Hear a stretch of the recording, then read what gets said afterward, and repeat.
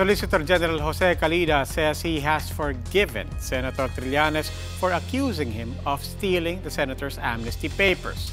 Senator Antonio Trillanes had repeatedly claimed that Solgen Calida was the mastermind behind the order to revoke his amnesty. He accused Calida of hiding his documents.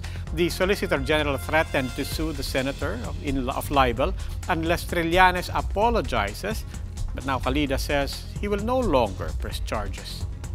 Because I'm a Christian, I know how to forgive.